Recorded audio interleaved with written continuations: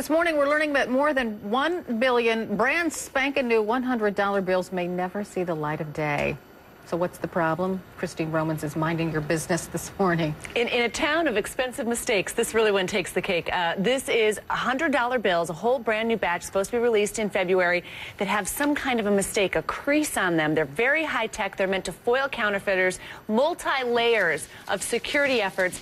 And during a routine uh, perusal of these bills after they were manufactured, the Bureau of Engraving and Printing found a problem. Problem that means they have to stay under lock and key in Fort Worth and Washington, D.C. while the Treasury decides what to do.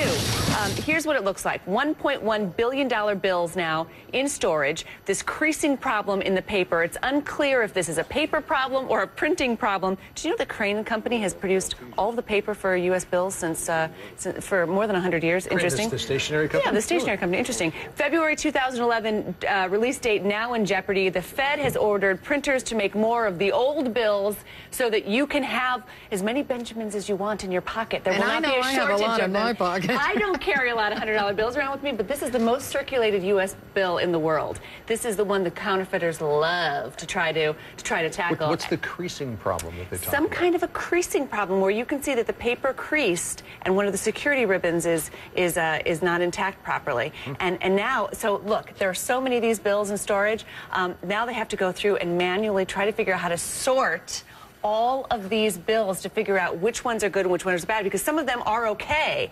Uh, in the meantime, we'll just have to use our old $100 bills. Perhaps you could offer your services for the sorting. At least then you get a chance to see what it was like to have that. I know a lot of people who could use a job, but um, I think they're probably going to figure out a computer. That's an awful lot of bills to try to be uh, going through. So this is $110 billion in U.S. currency. This will cost taxpayers, maybe in the end, 100 million, 120 million dollars. Every single one of these costs 11.8 cents, Oh, my and uh, we don't know how many of them are how many of them are bad. That is Timothy Geithner's signature is right on there. I'm sure that he would like to get one of those uh, messed up ones for his for his wall. Oh, They'll be I'm worth, They'll be worth something someday. yeah, that's for sure. Christine, thanks.